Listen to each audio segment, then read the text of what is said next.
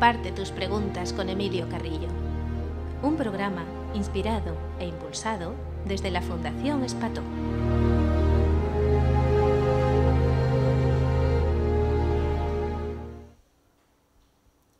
Hola Emilio y hola a todas y a todos. Bienvenidos a este séptimo episodio de nuestro programa. En el episodio anterior quedaron unas preguntas abiertas. Si te parece, vamos directamente a la primera pregunta. ¿Cuándo, cuando dices que una cosa la sabes, no que la crees, ¿cómo lo sabes? Hola Esperanza, un abrazo muy fuerte. Y hola amigos y amigas. Es todo un placer estar aquí otra vez con vosotros y con vosotras en este programa patrocinado por la Fundación Espató. Saber, creer, querer, saber. En los episodios anteriores hemos insistido en la diferencia que dentro de lo que es el ser humano, siendo uno, existe entre el vehículo que ocupamos para vivir esta vida física, el yo físico, mental y emocional, el coche, que nos permite vivir esta experiencia humana, y el conductor, que es lo que realmente somos, fuera del tiempo y del espacio. El conductor que encarna aquí y que para vivir esta experiencia requiere de ese vehículo, requiere de ese coche, requiere de ese yo físico, mental y emocional. El yo físico, mental y emocional tiene un sistema operativo. Igual que los ordenadores tienen un sistema operativo, ese vehículo, ese coche, ese yo físico, mental y emocional tiene igualmente un sistema operativo. El sistema operativo del coche, del yo físico, mental y emocional es la mente. La mente es el sistema operativo y la mente es la que cree. La mente genera pensamientos, la, la mente genera emociones y la, gente, la mente también la que genera el sistema de creencias. Ese sistema de creencias que lleva a las personas a creer en cosas. Lo que realmente, sin embargo, somos, ese conductor al que he hecho referencia, no, no está mucho más allá de ese sistema operativo, está mucho más allá de la mente. Su esencia es conciencia. Y la conciencia, como también hemos compartido en episodios anteriores, se caracteriza por ser una especie de espejo. Refleja la vida, simplemente, sin juzgarla, sin opinar, sin preferir, refleja la vida. Y al reflejar la vida, se hace uno con la vida misma. La mente, siguiendo el símil, es como un espejo roto. Rompe la realidad, la fragmenta. Te miras en la realidad a través de la mente y te ves a ti mismo roto en mil trozos, esos trozos en los que la mente rompe la realidad. Pues bien, el conductor, que es conciencia, experiencia. Lo que hace es simplemente experienciar. Vive y experiencia. Y esas vivencias y esas experiencias le dan saber. Mejor dicho, hacen que brote la sabiduría innata que está ya dentro de él. Esa sabiduría innata que está en lo más profundo de todos nosotros. Esa sabiduría innata que aparece además cuando menos las esperamos, porque no es un proceso mental, es algo que surge. Hay personas que lo llaman intuición, que lo llaman inspiración, que lo llaman una sensibilidad especial, que lo, que lo llaman una toma de conciencia. El nombre es lo de menos. Es esa sabiduría profunda que ahí tenemos, una sabiduría que se despliega en vivencias, que se retroalimenta a través de las experiencias y que aparece, que aparece, repito, cuando mentalmente menos lo podemos esperar porque efectivamente está al margen de la mente. Creer sistemas de creencias pertenece al mundo de la mente. Ahí está, no hay que rechazarlo, no hay que rechazar absolutamente nada. Está en nuestro servicio, es el sistema operativo del coche que utilizamos para experienciar la vida humana, pero hay que conocer cómo funciona, hay que conocer cuáles son sus características. Y hay que ser conscientes de que el que genera el sistema de creencias es precisamente la mente. El conductor no, el conductor sabe, el conductor es experiencia, es sabiduría y sabe. Cuando eh, en lo que comparto en estos programas, lo que comparto en las charlas que comparto en tantos sitios, hago referencia a la diferencia entre creer y saber, es precisamente esto. Lo que comparto no procede de un juego mental, no procede de unas disquisiciones mentales, no procede tampoco de un sistema de creencias, procede de la sabiduría que todos atesoramos. Por eso me gusta decir que no aprendemos, sino que recordamos, porque estamos recordando, no estamos aprendiendo. La que se empeña en aprender es la mente. El conductor no tiene nada que aprender, es divino, infinito y eterno. La sabiduría innata la tiene dentro. Lo único que hacemos en el proceso consciencial es recordar y el conductor sabe. En lo que comparto, lo que pongo en común son experiencias y lo que pongo en común son los saberes generados e inherentes a esas experiencias. Cuando hablamos de sistemas de creencias, hay también que tener en cuenta que los sistemas de creencias son muy diversos, son muy variados. Eh, muy frecuentemente, cuando hago mención a esto, la gente inmediatamente enfoca los sistemas de creencias desde el punto de vista de las ideas religiosas, de los credos religiosos, los dogmas, las normas, los cultos, los ritos propios de los sistemas religiosos. Pero hay que tener en cuenta que los sistemas de creencias van mucho más allá de lo puramente religioso. Los sistemas de creencias se mueven en el ámbito de la política, se mueven en el ámbito de lo social, se mueven en multitud de ámbitos y facetas. Y todos se caracterizan por lo mismo.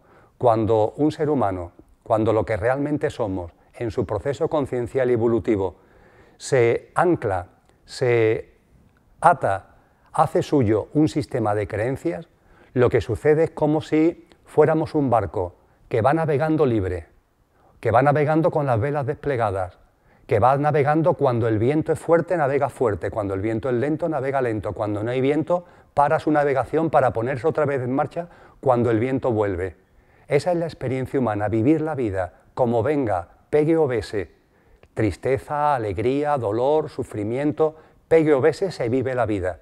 Es ese barco con la vela desplegada que confía en la vida y confiando en la vida la vive, la vive, sin ninguna disquisición, sin ninguna queja, sin ningún interrogante vivir viviendo, vivir viviendo. Eso es vivir con las velas desplegadas. Y esas velas desplegadas hacen que el proceso experiencial en el ámbito humano sea una constante evolución, al igual que el universo, al igual que el cosmos, al igual que toda la creación. ¿No os dais cuenta que todo está en permanente evolución? Que nada es persistente, que todo es impermanente. La evolución es la regla, los orientales hablan del Tao cuando hacen referencia a esta evolución continua. Y esa evolución continua es toda la creación y también está en nosotros, una evolución continua. Y esa evolución continua fluye, fluye de forma natural, fluye con armonía, cuando andamos por la vida con las velas desplegadas, con confianza en la vida, aceptando y confiando. Los sistemas de creencias, sin embargo, ¿qué es lo que suponen? Pues como si a ese barco que navega libremente echáramos el ancla. Eso es un sistema de creencias, echar el ancla. En libre albedrío podemos hacerlo, faltaría más. Y no pasa nada, todo tiene su porqué y su para qué. No pasa nada. En nuestro proceso conciencial y evolutivo ha llegado el momento de echar el ancla y hay muchas personas que echan el ancla. No pasa nada. Ya en un momento determinado la volverán a recoger. Pero lo que sí tenemos que ser conscientes es que cuando a través de un sistema de creencias al aferrarnos a él, echamos el ancla, la evolución no se para, porque nunca se para, pero se ralentiza. Nos lo encontramos con esas personas que debido a un sistema de creencia hacen suyo una determinadas normas, unas determinadas reglas, un determinado clero, eh, credo, un determinado rito, y son vehementes en la defensa de esas normas, en la defensa de esas reglas, en la defensa de esos dogmas, y defienden los mismos con vehemencia. No pasa nada. Para ellos esa es la verdad. No es lo real, pero para ellos es la, verdad. Es otra de las características de los sistemas de creencias. Aquellos que practican, aquellos que participan, aquellos que se atan a un sistema de creencias, creen que las cosas son conforme miran a través del sistema de creencias. Y claro, para ellos es verdad. Y no hay que discutir, no tiene ningún sentido discutir y entrar en discusiones con ellos, porque esa es la verdad para ellos. Sin embargo, cuando se está fuera de los sistemas de creencia, es fácil comprobar que siendo la verdad para ellos, y desde el mayor respeto, sin embargo, no es lo real. Y pasan mucha parte de su vida, a lo mejor la vida entera, anclado a ese sistema de creencia. No pasa nada. Hay muchas vidas. La encarnación en este plano humano es una cadena de vida. No pasa nada. Nos podemos pasar la vida entera anclado a un sistema de creencia y no pasa nada. Ya llegará el momento del desencalaje, ya llegará el momento de seguir evolucionando de, una forma natural. Mientras que tenemos un sistema de creencia, da igual el tipo que sea, da igual que sea religioso, da igual que sea político o el que sea, o incluso científico, que también hay científicos que convierten la ciencia en un sistema de creencia, eso lo que supone es anclarse. Y permitirme que termine precisamente hablando de sistemas de creencia, hablando de saber, con este ejemplo, con el ejemplo de la ciencia. Porque en la ciencia, lo que el ser humano denomina ciencia, es una manifestación muy potente de lo que es la evolución y lo que dentro de la evolución representa un sistema de creencia. Vamos a repasar muy brevemente lo que ha sido la evolución de la ciencia, por ejemplo, de la física, de la astrofísica, a lo largo de los últimos siglos. ¿Cuánto ha cambiado, verdad? Desde aquel Galileo Galilei, que lo querían simplemente quemar la Inquisición porque se atrevió a decir que el universo no giraba en torno a la Tierra, sino que era la Tierra la que giraba en torno al Sol. Y eso sucedió no hace ni 400 años, hasta el momento actual, donde a través de la aceleradora de partículas estamos llegando a conocer lo que hay detrás de esas partículas más infinitesimales, estamos llegando incluso a detectar lo que es la presencia del vacío que ya anunció Einstein y que hizo suyo Higgins en los años 60 del pasado siglo, y a través de la teoría del principio holográfico, a través de la teoría de cuerdas, empezamos a divisar un panorama radicalmente distinto. Pues bien, desde Galileo Galilei hasta el momento actual, ¿cuántos científicos se han considerado en posesión de la verdad? Una barbaridad. La ciencia ha ido evolucionando, pero ha habido científicos que han querido marcar dogmas, que han querido decir esto es así y lo puedo demostrar.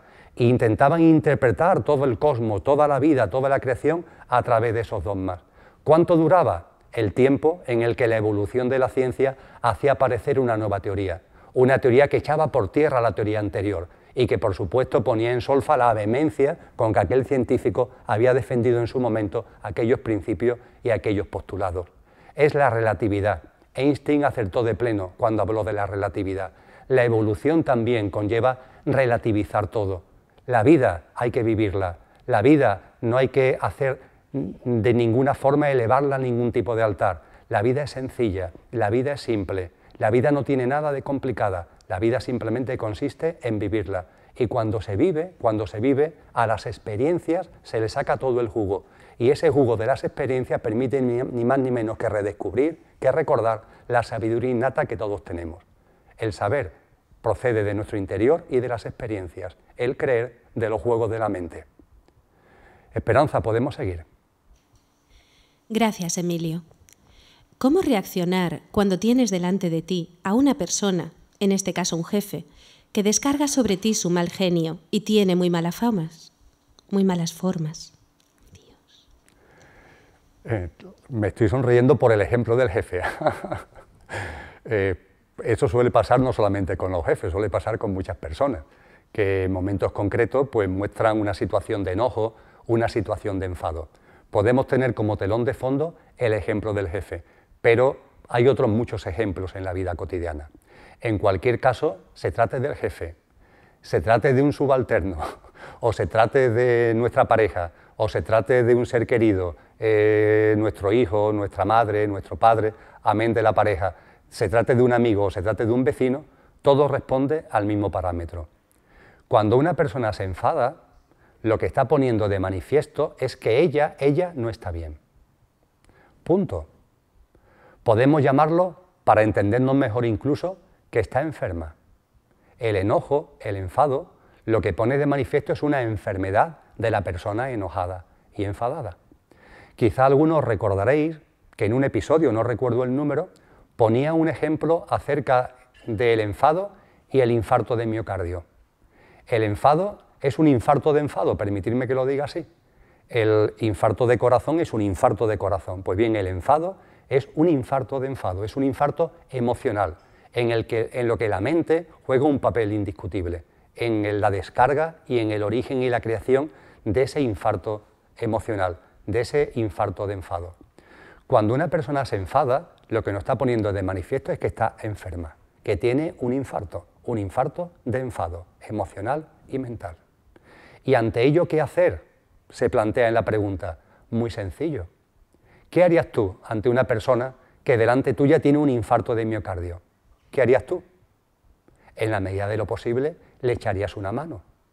Te pondrías en su lugar, entendería que esa persona está viviendo un infarto y o llamas al 061 o haces lo que esté en tu mano para intentar aliviar ese infarto que tienes delante tuyo en esa persona que lo está viviendo. En la sociedad actual todavía, todavía no, pero llegará el momento, en los hospitales habrá unidades para enfadados y habrá ambulancias que recogerán a las personas enfadadas. No estoy bromeando, será la muestra de una sociedad consciente. Cuando alguien se enfada, lo que está poniendo de manifiesto es que está mal, pero está mal consigo mismo, está mal consigo misma, no contigo, no conmigo, con ella.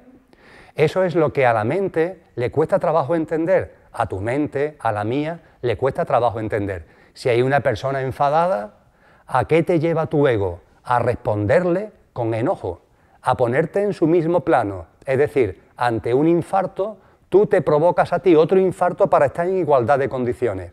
Y el juego del ego que se genera a partir de ahí es un ego de dominio que creo que todos los conocemos divinamente. La persona enfadada desde su sistema de creencia intenta imponer unas normas y ahora tú, respondiendo a ese enfado, le discutes desde tus sistemas de creencias. El ego de él se hace fuerte a través del enfado, se fortalece a través del enfado y tú te haces fuerte a ti mismo, su ego, tu ego se hace fuerte a sí mismo respondiéndole a él desde tu propio enfado. Tú estabas ahí, enfadado potencialmente, y estabas deseando que apareciera un enfadado para tú mostrar también tu enfado. Porque de hecho, si a un enfadado tú le respondes con enfado, lo que estás poniendo de manifiesto es que tú tienes la misma enfermedad. Y ese infarto de enfado de la persona que tienes enfrente te está sirviendo a ti de excusa para sacar ya lo que tenías dentro. Estaba ahí a flor de piel y estabas esperando la oportunidad. Y tu ego sale y tu ego empieza la discusión con esa otra persona. El ego de ella aparece, el tuyo aparece en contraposición. En cuanto que tu ego aparece en contraposición al suyo, el suyo se fortalece y, e incrementa su ataque, se retroalimenta con tu ego y tu ego hace lo mismo con el suyo y se entra en un ciclo que vete a saber dónde termina. Lo mismo lo que era un, un enfado simplemente de palabra, poco a poco la voz se va elevando, los gritos van incrementándose y vete a saber si incluso se llega a las manos. Es el ciclo del dominio provocado por el ego. Frente a eso, en el conocimiento de lo que somos, en la coherencia con lo que somos, ante una persona enfadada, lo único que tiene que salir de nosotros, en coherencia, insisto, con lo que somos, es empatía. Es entender lo que de verdad le está ocurriendo a esa persona, que no tiene nada que ver contigo. Que esa persona esté viviendo un infarto de enfado no tiene nada que ver contigo. Que como consecuencia de ese, eh, infarto de enfado te insulte, no tiene nada que ver contigo. Esa persona no está insultando a ti, se está insultando ella. Es algo que está saliendo de ella, no tiene nada que ver contigo. Creo que no es difícil de entender, creo que es bastante sencillo. Ese insulto no tiene nada que ver con lo que tú eres. El que ponga en solfa determinado trabajo que has realizado, el que critique determinada cosa, determinada actuación, lo está haciendo desde su enfado. No tiene nada que ver contigo. Quisiera terminar recordando una anécdota que la verdad es que no sé si hemos tocado ya en algún programa, pero en cualquier caso es tan divertida que si lo hubiera tocado merece la pena repetirla, y que tiene que ver con las experiencias que nos dejó escrita Gurdjieff, ese eh, místico armenio que durante toda la primera parte del siglo XX eh, vivió experiencias místicas muy potentes y que llegó incluso a crear una especie de escuela. Pues bien, Gurdjieff, en su evolución, en su evolución conciencial, hay un momento determinado que busca un monasterio, un, un, monasterio entre el Oriente Medio y el Extremo Oriente del que le han hablado y donde él considera que puede alcanzar la iluminación. Todavía en ese momento evolutivo no se había percatado que la iluminación no hay que buscarla, que ya estamos iluminados, que lo único que tenemos que hacer es darnos cuenta pero él todavía en su momento evolutivo, en su proceso conciencial, buscaba, buscaba, y consideró que ese monasterio le podía servir para encontrar lo que andaba buscando. Y no le fue fácil, no le fue fácil dar con el monasterio, pero al final dio con él, y entró en él, y vivió en él cuenta durante seis años. Dentro del funcionamiento del monasterio había algo que es lo que quiero aquí resaltar, por lo que he sacado esta anécdota a colación. Se trata de lo siguiente, cuando entrabas en el monasterio, entre la ropa y los aditamentos que te daban, te daban también una placa, Una placa que debías llevar colgada sobre el pecho todo el día, desde que te levantabas hasta que te acostabas. Esa placa, como toda placa, tiene dos lados. En un lado, ¿qué es lo que ponía? Algo, no lo digo literalmente, sino algo parecido a lo siguiente. Hoy me encuentro bien. Hoy estoy positivo. Si hablo bien de ti, si te doy una alabanza, no me hagas caso. Es que hoy me encuentro bien. Hoy estoy positivo. No tiene nada que ver contigo. Si te doy una palmada en el hombro, si me muestro agradable, no tiene nada que ver contigo. Soy yo que hoy estoy positivo. De modo y manera que cuando tú por la mañana te levantabas y te... Eh, perdón, hoy estoy negativo... Eh, no quiero confundirme, positivo negativo. La primera parte de la, de la experiencia de cuenta Gurdjieff es la placa en el sentido negativo. Hoy me encuentro mal, hoy no estoy bien conmigo.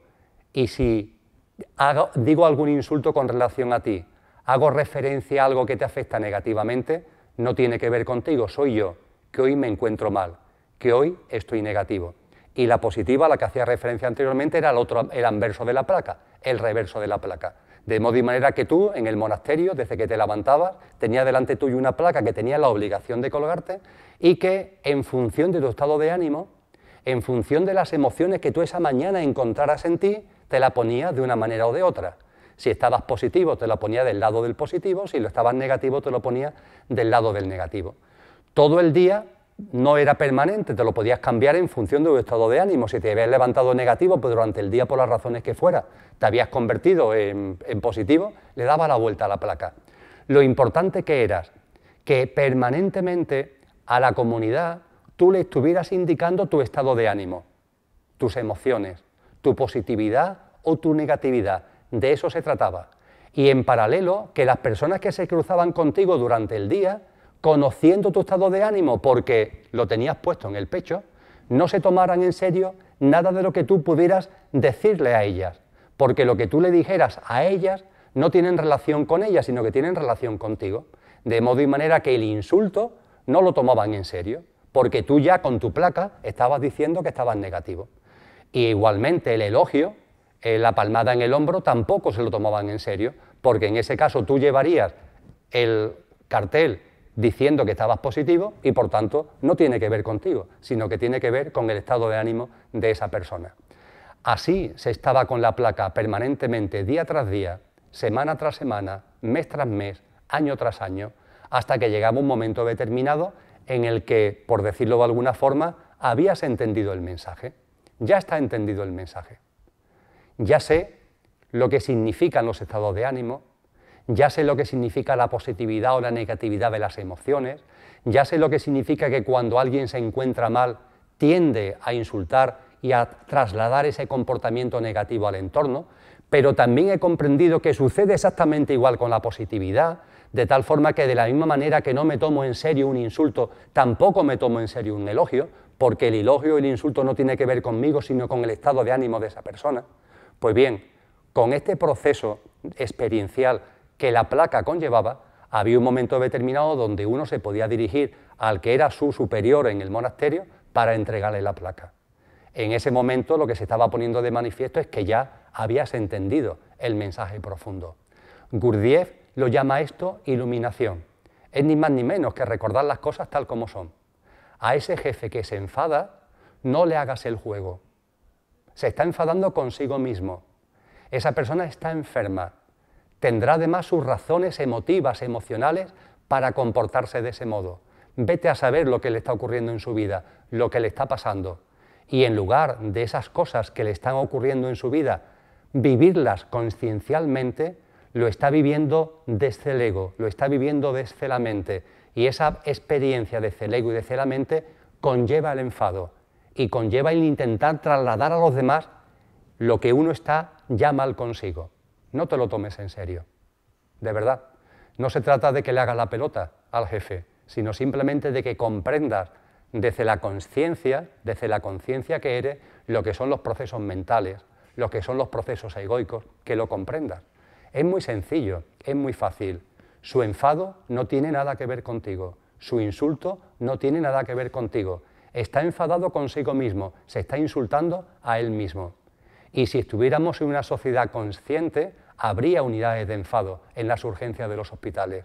Y cuando alguien se enfada, llamaríamos a urgencia y a esa persona se le daría una atención, la debida, en la urgencia del hospital para que ese enfado se le pasara. Pero se le pasara encontrando las raíces profundas del mismo. Y esas raíces profundas del enfado están en él, en la persona que lo está viviendo. No tiene nada que ver contigo. Esperanza, ¿podemos continuar? Gracias. ¿Por qué o para qué una persona es homosexual? Es curioso eh, que esta pregunta, eh, Esperanza, me, lo han, me la han realizado en, en muchos foros y nunca me han preguntado por qué y para qué se es heterosexual. Es curioso. Parece que la mente, la homosexualidad, le lleva a formular esta pregunta. Pero sin embargo, una pregunta similar, una pregunta semejante con relación a la heterosexualidad, no me la he encontrado nunca. La realidad, amigos y amigas, es que a la sexualidad la hemos sacado de su sitio. Es decir, la hemos sublimado mentalmente. Y con la sexualidad, y permitirme el juego de palabra que parece una broma, hemos hecho de la sexualidad una paja mental. En eso hemos convertido la sexualidad, en una paja mental. Y nos hacemos multitud de pajas mentales con la sexualidad. En eso tienen mucho que ver creencias religiosas que han hecho de la sexualidad una especie de tabú. Hemos convertido la sexualidad en algo raro, en algo incluso que hay que esconder, en algo incluso que hay que perseguir. Y aunque evolutivamente muchas personas ya han saltado ese esquema, sin embargo quedan ahí unas reticencias, quedan ahí unas inercias. Y por supuesto en la sociedad están presentes esas reticencias todavía, están presentes esas inercias. La única realidad es que la sexualidad es una energía sagrada, impresionante que tenemos los seres humanos. Es una energía interior y exterior potentísima. Y la sexualidad, como todo lo que tiene que ver con el cuerpo, lo único que hay que hacer es escuchar. Al cuerpo hay que escucharlo. ¿Cuánto cambiaría nuestra vida si escucháramos al cuerpo? Sin embargo, nos hemos acostumbrado a escuchar a la mente, solamente a la mente, no al cuerpo. De modo y manera que, por ejemplo, el estómago le está diciendo, no quiero comer más, no quiero continuar comiendo. Y la mente en sus procesos mentales dice, ah, pero es que está muy bueno, vamos a seguir comiendo. Le haces caso a la mente, no le haces caso al cuerpo. ¿Y qué es lo que ocurre? Que, tomas, que coges una indigestión. Y después te encuentras mal, vomitas y te encuentras fatal. No le has hecho caso al cuerpo, le has hecho caso a la mente. Pues bien, la mente que tiene su funcionalidad, lo hemos insistido mucho en el programa, tiene un menú de prestaciones muy importante, pero es limitado, no vale para todo. La mente es parte del cuerpo, pero el cuerpo es muchas cosas aparte de la mente, y al cuerpo hay que escucharle. Y hablando de sexualidad, hay que escuchar al cuerpo, y no hay pecado, no hay falta, que cada uno escuchando a su cuerpo practique la sexualidad como considere oportuno. Homosexualidad, heterosexualidad, pero ¿dónde está escrito y por quién? ¿Cómo hay que vivir la sexualidad? Vivir la sexualidad en libertad, vivir la sexualidad en respeto al otro, vivir la sexualidad de manera natural. Es así de sencillo, no tiene nada de complicado. Y esa sexualidad, por supuesto, vivirla recordando lo que somos, la sabiduría innata, en todo su menú de prestaciones, dándote cuenta que la sexualidad no es solamente la penetración, dándote cuenta que la sexualidad no es ni siquiera solo las relaciones sexuales, que la sexualidad es un mundo mucho más amplio, que es el mundo de la mirada, que es el mundo de la caricia, que es el mundo del encuentro de dos cuerpos desnudos que no tienen ni por qué tocarse, y que por supuesto también nos tocamos y también tenemos relaciones sexuales en el sentido tradicional y también hay penetración. Todo, todo eso abarca la sexualidad. Vivirla con libertad, vivirla con respeto, vivirla con naturalidad, escuchando al cuerpo, escuchando al cuerpo. La promiscuidad procede precisamente de la mente, no procede del cuerpo. La monogamia procede también de la mente, no procede del cuerpo. Lo que el cuerpo nos dice acerca de la sexualidad no es ni monogamia ni tampoco es promiscuidad, porque tanto la monogamia como la promiscuidad proceden de la mente. El cuerpo sabe el ritmo de relaciones sexuales, lo conoce perfectamente y sabe perfectamente desde el punto de vista de sus procesos biológicos y naturales y desde su, desde su, punto de vista de los procesos interiores, cómo desplegar esa sexualidad. Es la mente la que aparece y la que intenta poner unas normas que no son tuyas, sino de un sistema de creencias que la mente ha hecho suyo. Por ejemplo, desde el punto de vista de los credos religiosos, el perseguir la sexualidad, el considerar la sexualidad como algo negativo, como algo malo, como algo sucio, y la mente, hay mentes de seres humanos que eso lo hacen suyo. O, igualmente otras mentes que desde el punto de vista del ego conducen al ser humano hacia la promiscuidad. Esto, como bien sabemos, se da fundamentalmente en el hombre, es decir, en el ser humano que tiene más activado el componente masculino de su energía y el componente masculino de su sexualidad. ¿Por qué el hombre se ve inclinado en tantos casos a la promiscuidad? Es un juego de la mente, es un juego del ego, porque el ego se fortalece. Es el ego el que se fortalece a sí mismo conquistando. Sale la vena del conquistador, el ego conquistador, y el ego conquistando mujeres se considera a sí mismo más hombre, se considera a sí mismo más fuerte, se considera a sí mismo más capaz, se considera a sí mismo más válido, se fortalece.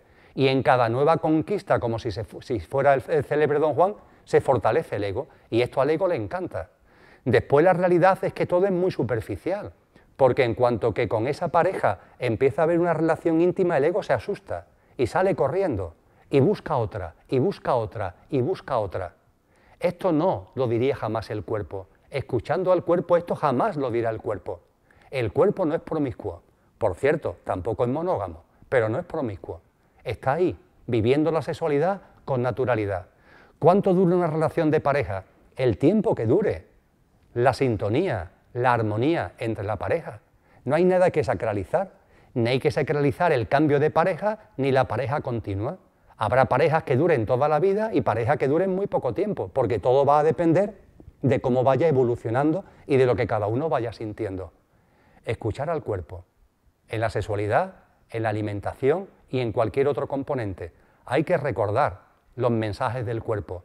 Estamos demasiado pendientes de los mensajes de la mente. Y por cierto, por supuesto que sí, la mente forma parte del cuerpo, pero no es, no es todo el cuerpo. El cuerpo es muchas cosas más. Vamos a escucharlo con amor, con cariño. Vamos a poner el oído a los mensajes que nos dan, sabiendo además que todos los mensajes del cuerpo tienen un porqué y un para qué profundo, un sentido profundo. Sin embargo, vamos tan locos, tan rápidos siempre, con tanto ajetreo, tan pendientes de la mente, que escuchamos muy, muy poco a nuestro cuerpo. Vamos a escucharlo un poquito más. Es un gran sabio. El cuerpo, biológicamente, es muy anterior a la mente. Que no se os olvide eso. Lo que somos físicamente, el homínido que somos físicamente, viene de una evolución. Y en esa evolución, lo que denominamos cuerpo, existió mucho antes de que se hubiera desarrollado lo que hoy denominamos mente.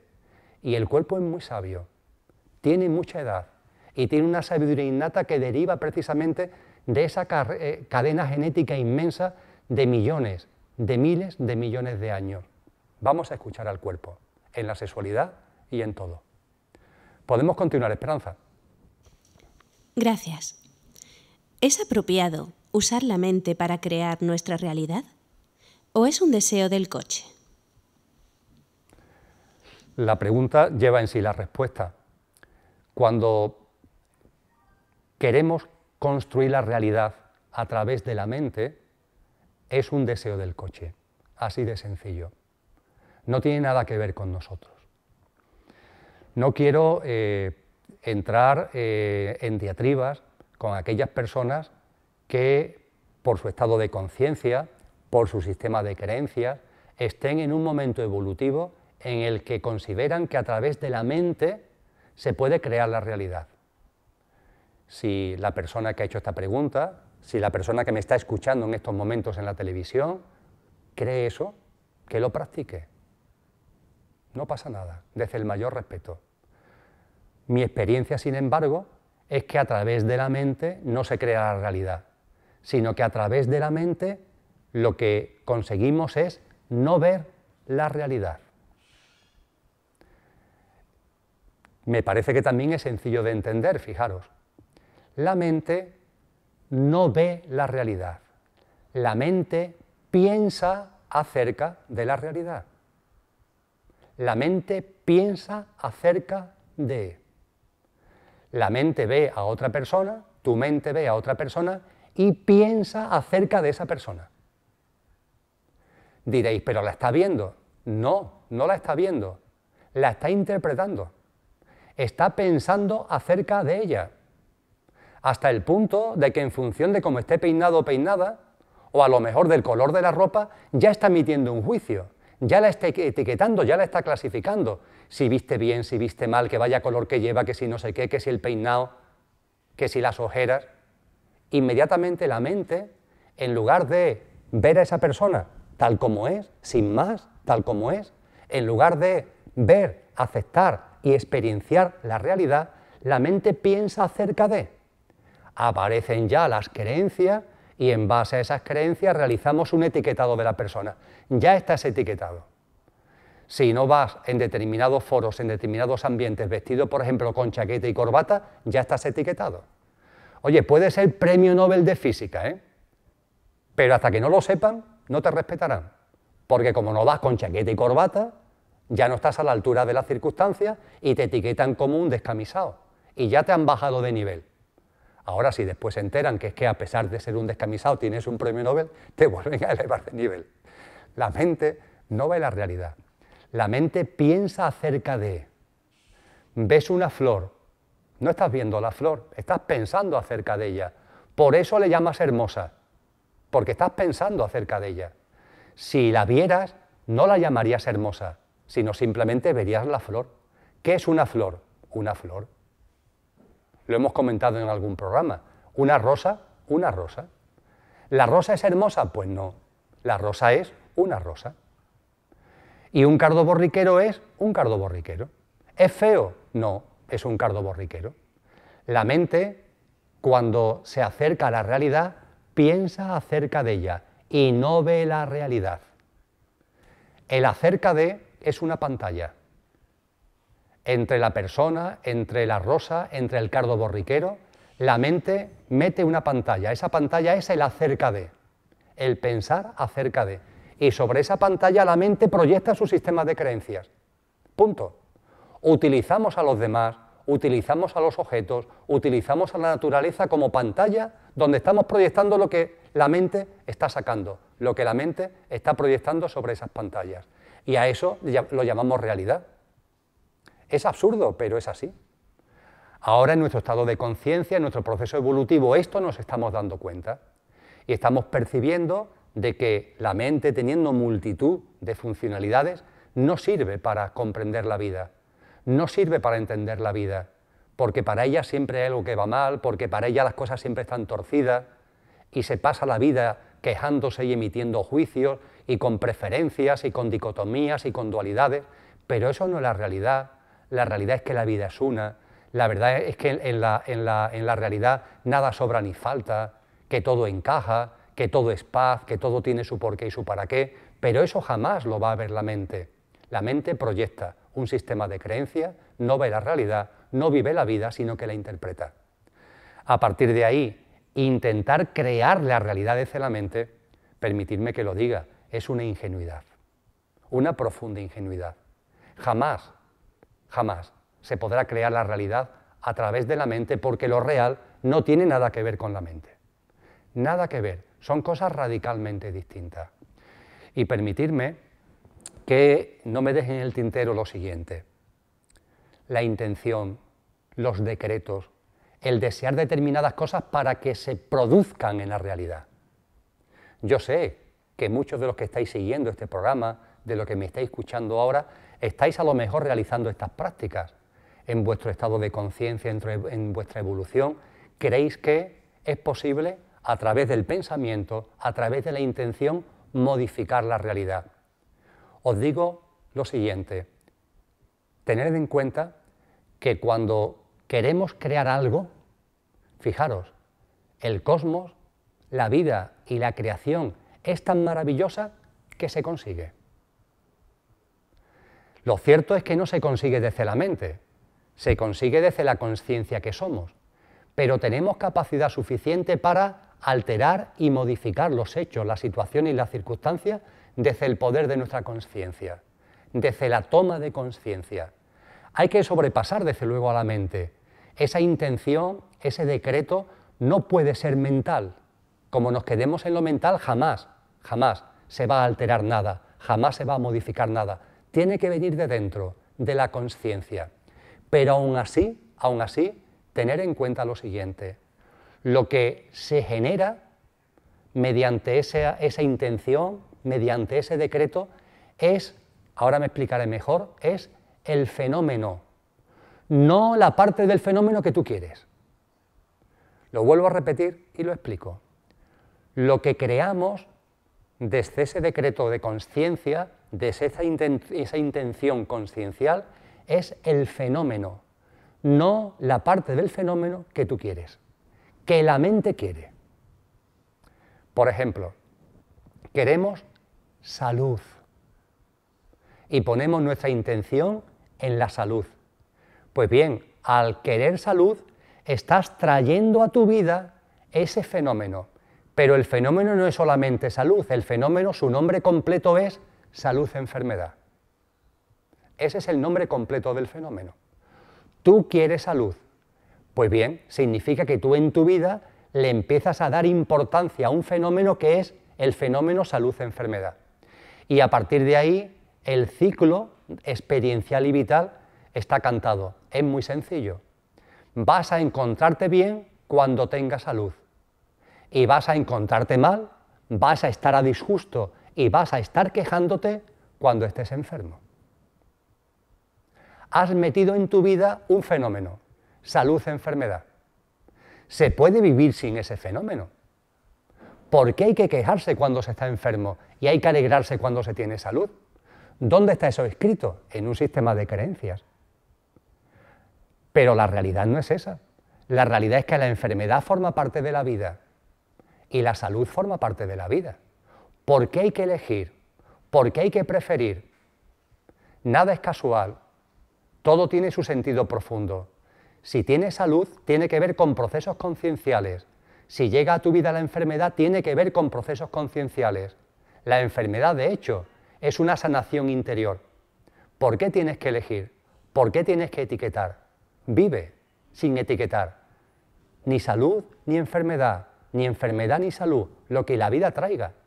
En cuanto que pones tu intención en uno de los partes del polo, no estás metiendo en tu vida solamente la salud, estás metiendo el fenómeno completo. Lo que te hará estar bien cuando tengas salud, pero tendrás malestar, estarás a disgusto y te quejarás cuando tengas enfermedad. Os pongo otro ejemplo que es mucho más coloquial, mucho más común, la climatología. ¿Por qué hay que estar contento cuando hay sol y sin embargo nos enfadamos y estamos a disgusto cuando llueve y hace frío? ¿Por qué? Porque han metido en tu vida el fenómeno de la temperatura. Y la temperatura es el fenómeno. Tiene dos polos, el calor y el frío, lo que coloquialmente llamamos buen tiempo, mal tiempo, pero el fenómeno que estás metiendo en tu vida es la temperatura.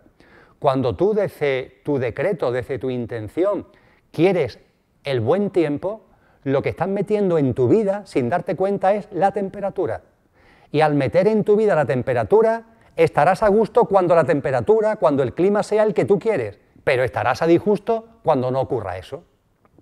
Estás metiendo en tu vida el sufrimiento. Al querer una climatología buena, estás rechazando lo que denominan mala. Pero como esa climatología mala antes o después va a llegar, vas a estar a disgusto y estás garantizando que a tu vida va a llegar el sufrimiento ante esa climatología mala. ¿Lo percibes? ¿Lo entiendes? Es muy sencillo. La realidad no es esa. La realidad es que la climatología, la temperatura, es la vida. Que el día está soleado, el día está soleado. Que el día está nuboso, el día está nuboso. Que el día es cálido, el día es cálido. Que el día es frío, el día es frío. ¿Qué tiene que ver eso contigo? Tú vas a vivir la vida, esté el día nuboso, soleado, frío o cálido, vas a vivir la vida exactamente igual, sin que eso te afecte, sin que eso incida en ti. Y te vas a levantar con la misma energía, con las mismas ganas de vivir. ¿Qué más da? ¿Qué más da que llueva o que el sol sea brillante? ¿Qué más da? Tú vas a vivir el día con las condiciones climatológicas que sean. Y en todas, en todas, vas a entender que está la vida, vas a comprobar que está la vida. Sin embargo, con estos decretos, con estas intenciones mentales, cuando entran en el juego de la mente, lo que ocurre es todo lo contrario. Ah, pues yo es que me encuentro bien cuando hace buen tiempo, cuando llega la primavera, el verano, pero lo paso fatal en invierno, o viceversa, ¿eh? personas que prefieren el frío, pero la época de calor eh, la rechazan. En cuanto que pones tu intención en el frío, en el calor, o en el calor, el frío, no estás trayendo el frío o el calor, no estás trayendo uno de los dos polos, estás trayendo el fenómeno completo. Y en cuanto que has traído el fenómeno completo, empiezan los problemas. Porque estará bien, estarás bien cuando se dé la parte, el polo del fenómeno que tú quieres, pero estarás a disgusto y sufrirás cuando venga, que vendrá la parte del fenómeno, el otro polo del fenómeno que tú no quieres. Sin embargo, la conciencia, la coherencia, lo que somos, no elige. La conciencia, vuelvo a repetirlo, es un espejo. Que el día está soleado, está soleado. Que el día está nuboso, está nuboso. Que gozo de salud, gozo de salud. Que gozo de enfermedad, gozo de enfermedad. Vivo la salud, vivo la enfermedad, vivo la alegría, vivo la tristeza, vivo el tiempo soleado, vivo el tiempo nuboso. Es tremendo, es tremendo hablar de buen tiempo o hablar de mal tiempo. Es tremendo que se ponen los informativos y muchos de ellos terminan con un señor o una señora que nos dice que mañana va a hacer buen tiempo o mal tiempo. No te das cuenta que eso ya está condicionando tu vida, que está ya marcando cómo vas a vivir ese día, porque ya te están diciendo que eso es bueno o que eso es malo desde el punto de vista climatológico. Desde la conciencia, desde el conductor que somos, desde la quietud y la armonía y el encuentro interior, vamos a vivir todo con el mismo entusiasmo, con la misma pasión degustando, saboreando todas las experiencias. Da igual, da igual, que nieve o que sole. Vamos a disfrutar de la nieve, vamos a disfrutar del sol. Vamos a gozar la enfermedad, vamos a aceptar la tristeza, vamos a disfrutar con alegría. Que no se nos escape nada, que no se nos quede nada fuera de nuestro padaleo. Que cuando este conductor que somos no esté encarnado en este plano, no tengamos ese regusto de decir, estuvimos allí e hicimos el imbécil estuvimos a disgusto, estuvimos, estuvimos quejándonos, sin darnos cuenta que estábamos allí precisamente para disfrutar del menú completo de la experiencia humana, del menú completo de la vida humana. Que cuando no estemos en este plano, no se nos quede ese regusto de decir, estuve allí y fui un idiota. No fui capaz de darme cuenta la maravillosa vida que se manifiesta en todo, en lo que denominamos polo, en lo que denominamos dualidades, en el frío y en el calor, en la salud y en la enfermedad, en la alegría y en la tristeza, todo es vida, todo es vida, sin queja, con confianza en la vida. Vamos a vivir todo y vamos a encontrar en todo un sentido profundo. Esperanza, ¿podemos continuar? Muchas gracias, Emilio. Y gracias también a la Fundación Espato. ¿Qué puede aportar la vida en pareja a una persona con un nivel de conciencia muy elevado? Compartir la vida no es una respuesta adecuada para mí siento toda mi existencia como un puro compartir. Eh, permitirme que sea pesado. Eh, por las razones que sea, la providencia que en nuestro ser interior en acción tendrá mucho que ver con ello. Hoy están apareciendo una serie de preguntas que tienen todas un núcleo profundo y por tanto voy a tener que repetir algunas de las cosas que hemos compartido hasta ahora. Da exactamente igual ¿Qué tiene que ver que vivas en pareja o que vivas solo? Que vivas en una familia numerosa o que vivas en, en eremita. ¿Qué tiene que ver eso? No nos damos cuenta que estamos siempre haciendo el juego a la mente. Simple y llanamente tú vives como de tu interior, escuchándote a ti mismo, escuchándote a tu conciencia, a lo que realmente eres, consideres que tienes que vivir en coherencia con lo que sientas. Mira qué sencillo. Pero ojo, no hay ningún formato mejor que otro. Pareja, no pareja, hijos, no hijos, homosexualidad, heterosexualidad. Vamos a ver, da igual. ¿Qué tiene que ver eso? ¿Qué tiene que ver todas esas circunstancias? ¿Qué tiene que ver dónde vivas? ¿Qué tiene que ver el lugar en el que estés? Si todo está en ti, si eres tú contigo mismo. Lo demás forma parte de la vida, por supuesto que sí, pero el núcleo duro de la experiencia eres tú contigo mismo. Hay gente que se empeña ya no solamente en dejar a la familia, sino en irse a no sé dónde. Venga, me voy al Tíbet. ¿Al Tíbet? ¿Y qué hay en el Tíbet que no tengas ya? Si, se va, si te vas al Tíbet, ¿qué te vas a encontrar? Lo mismo que ya tienes aquí, a ti mismo. ¿Tan difícil de darse cuenta de eso? Estás en tu casa, en una ciudad cualquiera, y ahora te entra no sé qué para irte al extremo oriente a encontrar no sé cuánto. Cuando estés en el extremo oriente, ¿qué te vas a encontrar? Lo mismo que ya tenías en casa. Es decir, tú, tú, ¿para qué tienes que irte al Tíbet? Ojo, si sientes irte al Tíbet, vete. Pero de verdad lo que te vas a encontrar allí es lo mismo que ya tienes, tú, tú. Los formatos es lo de menos. La evolución, la conciencia no tiene que ver con los formatos. Pareja, no pareja, hijos, no hijos, ¿qué más da? Lo que tú sientas. Lo importante no es el qué, lo importante es el cómo. Lo importante no es que vivas en pareja o dejes de vivir en pareja, sino viviendo en pareja o viviendo sin pareja, cómo vivas. Esa es la cuestión. Y eso tiene que ver con el amor. El cómo está íntimamente ligado al amor. El amor es la conciencia, la conciencia es amor, es nuestra esencia. El amor no es una emoción, el amor es algo mucho más hondo. El amor es la misma vida, la misma existencia y nuestra propia esencia.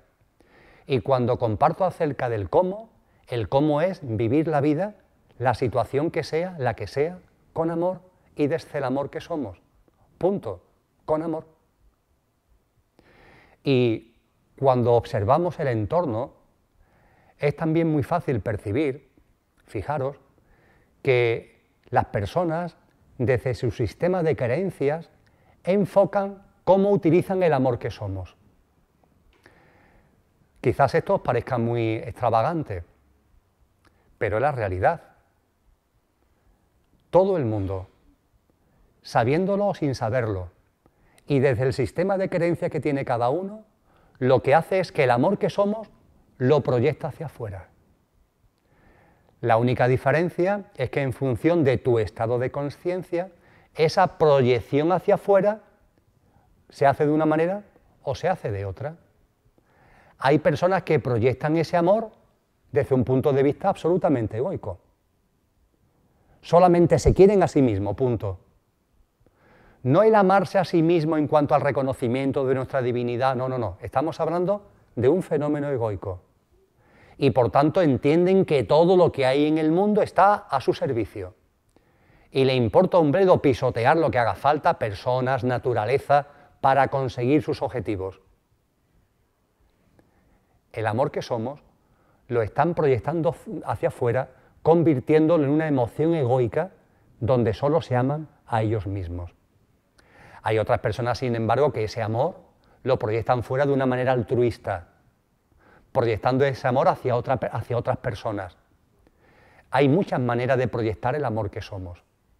Lo importante es darse cuenta de que somos amor. Y hay una anécdota que no resisto compartirla, que es creo que bastante conocida y que tuvo que ver con la relación, bastante intensa por cierto, que mantuvieron Teresa de Calcuta con un cantautor de América Latina llamado Facundo Cabral. Eh, Facundo y, Teresa eh, tenían una relación epistolar y en un momento concreto de su vida, en la vida de Facundo, hay un accidente de tráfico donde muere su mujer y su hija. Por supuesto, Facundo Cabral recibió muchas condolencias, muchos pésames, y entre las personas que lo llamó, lo llamó por teléfono, fue Teresa de Calcuta. Y comentó Facundo Cabral la sorpresa que le produjo la llamada de Teresa de Calcuta, no, no porque lo llamara, porque tenían ya una relación, sino por lo que le dijo en la conversación telefónica. Teresa de Calcuta no le dio el pésame, Teresa de Calcuta no utilizó ningún convencionalismo de los que podemos utilizar cualquiera de nosotros cuando nos dirigimos a una persona que ha perdido un accidente a su mujer y a su hija. Teresa de Calcuta lo que hizo fue formularle una pregunta. Una pregunta simple, pero una pregunta enormemente trascendente. Concretamente le dijo, ¿y ahora, Facundo, qué vas a hacer con tanto amor que te sobra? ¿Qué vas a hacer con tanto amor que te sobra? Fijaros qué pregunta. Plena de conciencia, plena de sabiduría.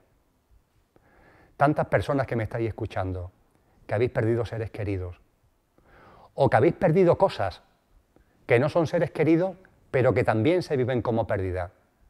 A lo mejor el entusiasmo por vuestro trabajo, a lo mejor el entusiasmo por cosas que ya no dicen nada. Eso también son pérdidas. En esas actividades poníais mucho amor, pero ya no os interesan. En esos seres queridos poníais mucho amor, el amor que sois, pero ya no están. ¿Qué vais a hacer con ese amor que os sobra? Esa pregunta de Teresa de Calcuta transformó la vida de Facundo Cabral. Él tomó la decisión de irse a compartir con Teresa de Calcuta durante un tiempo y durante bastantes meses estuvo con ella, viviendo con ella como ella y ayudándola en lo que era su actividad cotidiana. Hasta que ya vivida esa experiencia, Facundo tomó su vida otro derrotero, pero ya siempre pleno de conciencia. Fijaros, ¿qué hacemos con el amor que nos sobra? ¿Qué hacemos con el amor que somos? Ese cómo es la llave, ese cómo es la cuestión. Pareja, no pareja, Himalaya, tu casa en el pueblo de no sé dónde, ¿qué más da? Céntrate en ti mismo, date cuenta del amor que eres y pregúntate, ¿qué estás haciendo con ese amor? ¿Cómo lo estás enfocando? ¿Cómo lo estás dirigiendo? E incluso si lo estabas enfocando y dirigiendo de una determinada forma, que ya no lo puedes hacer, porque te han dejado de interesar cosas que te interesaban, o ya no están contigo las personas hacia las que ese amor dirigía, planteate, ¿qué vas a hacer con ese amor que te sobra? Esperanza, ¿podemos continuar? Gracias, Emilio. La última pregunta para el episodio de hoy. ¿Para qué la energía primigenia, la totalidad, el uno, Dios, como queramos llamarlo, necesita manifestarse en materia? El como queramos llamarlo no necesita nada. Y el como queramos llamarlo eres tú y soy yo. Dios no es distinto de ti, Dios no es distinto de mí.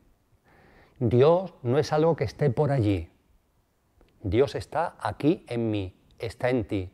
Dios es todo y está en todo. Todo es Dios. Y esa, como queramos denominarlo, energía primigenia o lo que sea, no necesita nada.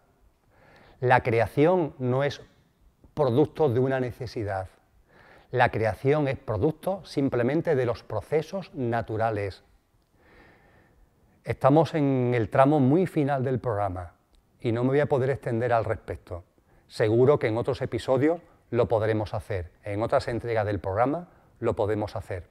Pero fijaros, hoy la ciencia, tomando la teoría de la relatividad de Einstein, tomando las investigaciones de Higgins en los años 60 del pasado siglo XX, hoy la ciencia ha comprendido que el vacío existe.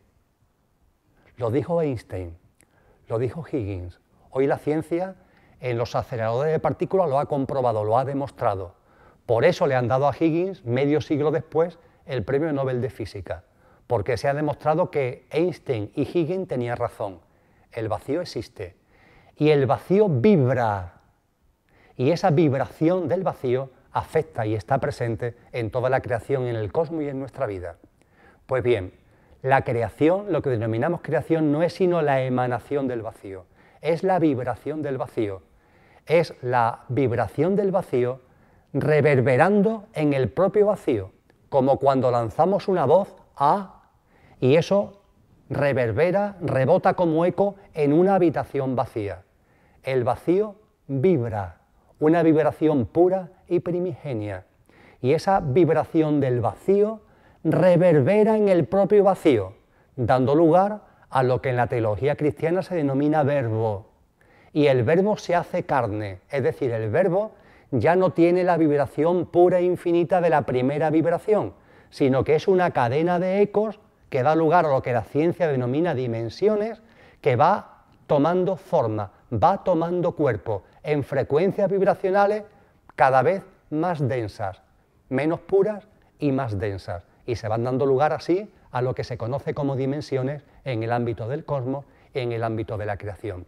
Y todo este proceso de un vacío que vibra, vibración pura y primigenia, y una vibración pura y primigenia que reverbera en el propio vacío dando lugar a una cadena de ecos, de vibraciones cada vez más densas que dan lugar a lo que conocemos como creación y como cosmos, ahí no hay ninguna necesidad. Simplemente no se puede evitar, permitidme que lo diga así, simplemente no se puede evitar. Es el proceso natural. Ahí no hay esfuerzo, ahí no hay objetivos, ahí no hay metas, ahí no hay deseos, es simplemente el proceso natural. Y la creación se expande permanentemente como consecuencia de ese verbo que se expande continuamente, que reverbera continuamente. Esa es la creación, esa es la divinidad. Y eso es lo que somos. Porque todos esos procesos también están en nosotros, también somos nosotros. La ola, como dice muy bien Willy Jäger, es el mar, que no se nos olvide. La ola es el mar. Nos podemos ver como ola, pero lo cierto es que somos el océano, no somos la ola, somos el mar. Muchas gracias, Esperanza. Gracias. ¿Cuál es la mejor forma para desaprender y evolucionar consciencialmente?